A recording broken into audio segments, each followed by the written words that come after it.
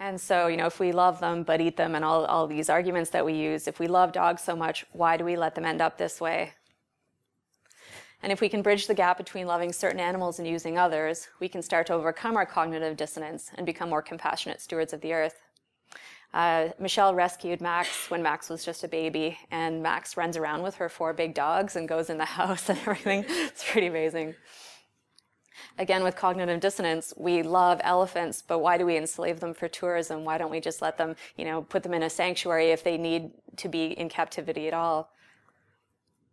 And if we love dolphins so much, and so many of us do, why do we put them in a tank and swim with them? And actually, this this place was crazy. It was in Hawaii. I was there this year photographing the the swim with dolphins industry, and uh, to swim with the dolphins for 15 minutes in a group was $125.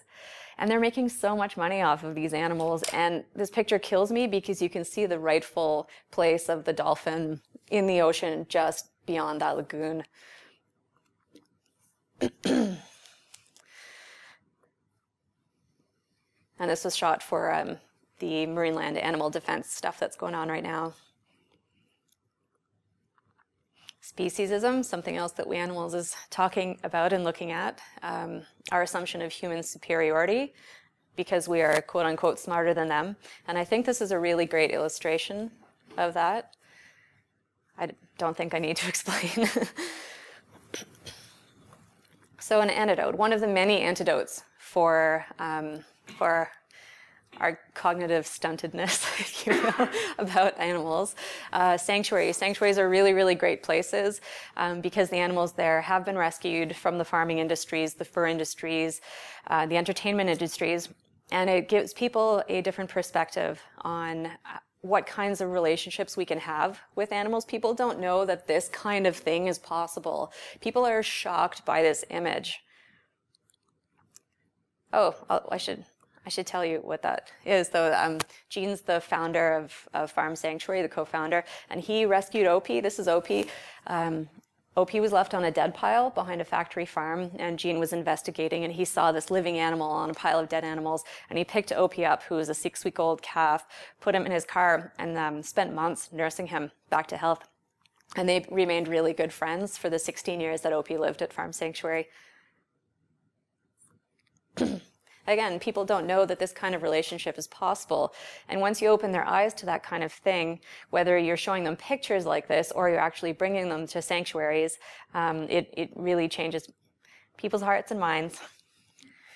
And I love this picture because there's not many places that a chicken or a rooster would be safe on a stove, except at a sanctuary. That's at Farm Sanctuary.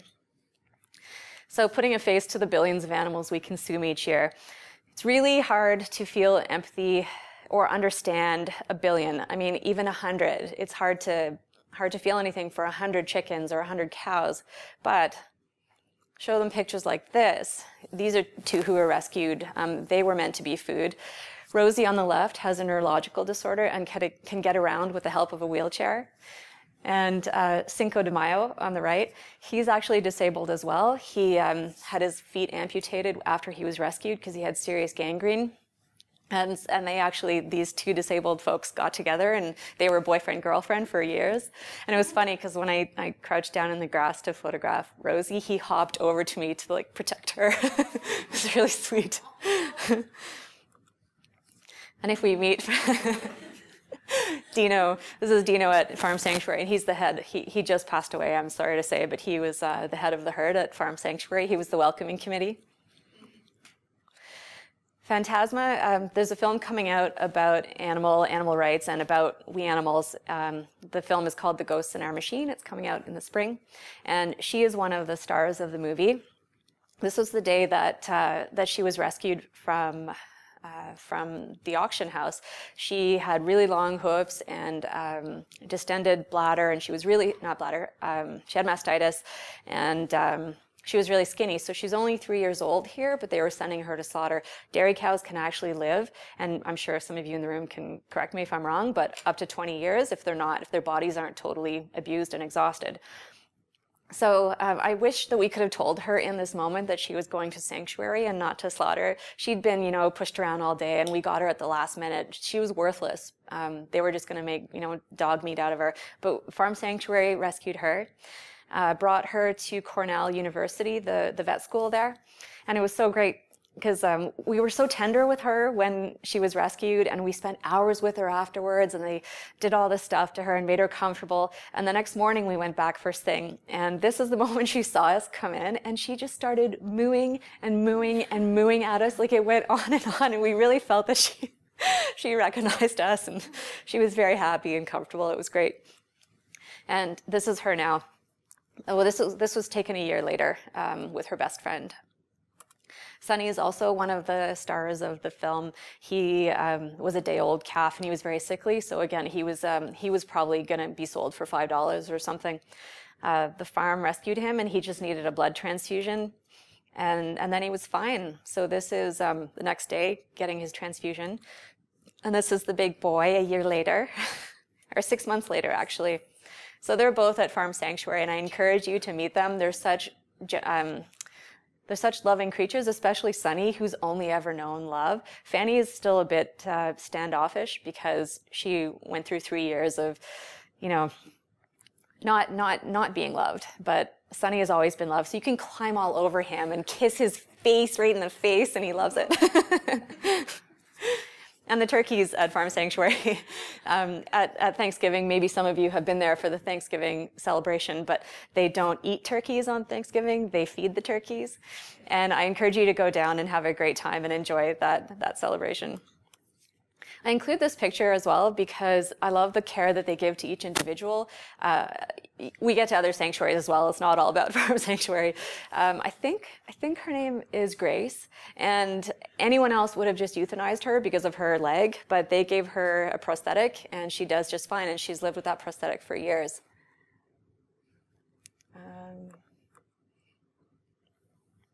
Okay. Uh, he is a recent rescue. He fell off, uh, um, he's at Snooters, Snooters Sanctuary, and he fell off a transport truck. And the right person picked him up and took him and made the right phone calls. And this was outside of Montreal. And then a series of cars met the next car, met the next car. Um, and we brought him the last leg of the way to, to Snooters. So here he is being very cute. And this is Susan who runs. Um, run snooters, and uh, this is the first moment where she's seeing Edgar.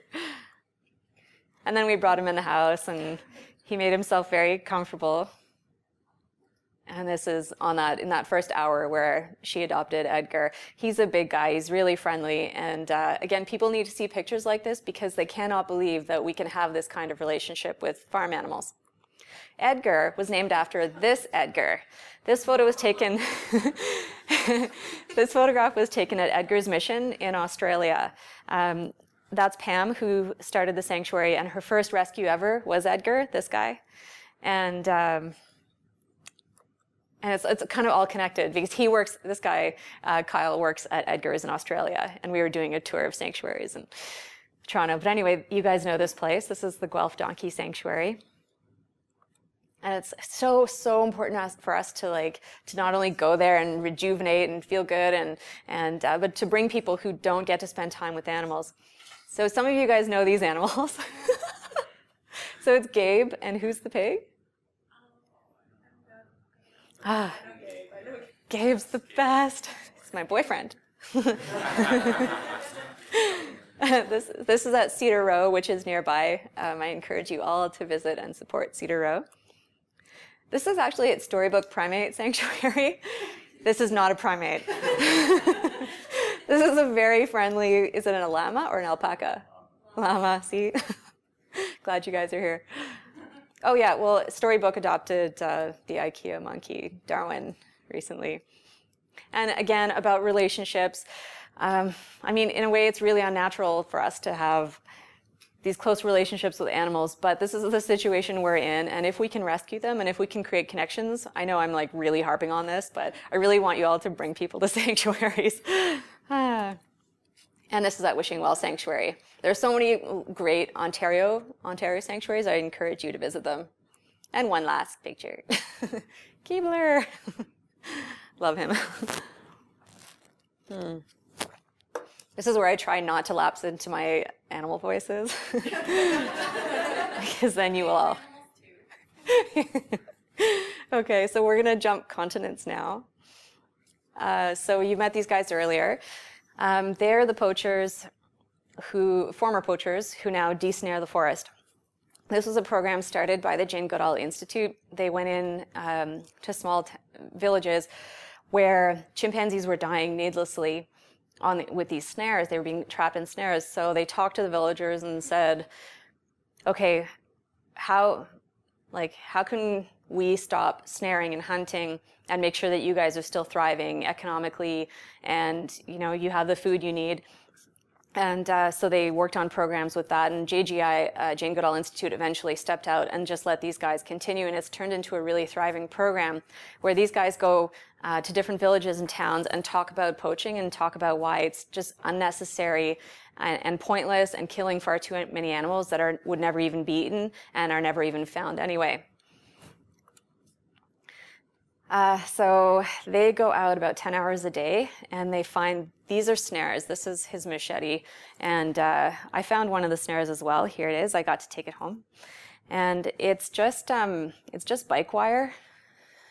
I don't know if that helps. You can see it there. But this stuff is totally deadly. They set them up with a loop so that anything that puts his or her arm through um, or walks through and tightens, that's it. It doesn't untighten, and the animals die there. And the chimpanzees, even a chimpanzee can get an arm caught in this and end up like maybe getting um, like pulling the snare out of the ground, but then having this around the arm and then losing a limb and then losing their life from infection. This was a really sad example. Um, this is a beautiful little animal called a duiker, and it's like half deer, half rabbit. I don't know how to describe these sweet little things. But we could, um, we could hear uh, her screaming in the forest, and we thought, great, we can save this one. We know that there's a duiker in a trap.